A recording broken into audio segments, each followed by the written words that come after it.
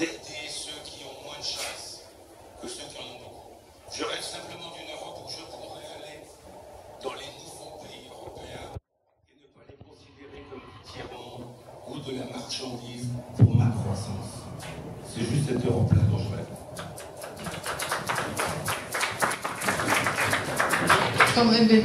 Moi, je ne veux pas rêver l'Europe, je veux la faire. Je veux qu'on continue à la construire, et à la construire plus protectrice plus protectrice euh, des droits humains, euh, plus protectrice de l'environnement, plus protectrice de l'emploi. Euh, cette Europe-là, je sais qu'on peut la faire, parce que sur ces 50 mandats, j'ai vu que même minoritaire, avec le Parlement européen, on pouvait avoir du pouvoir. On a eu le pouvoir en partenariat, en complémentarité avec les mouvements citoyens, pour rejeter le traité ACTA qui nous permettra, et moi me donne espoir, pour rejeter le traité transatlantique avec les États-Unis.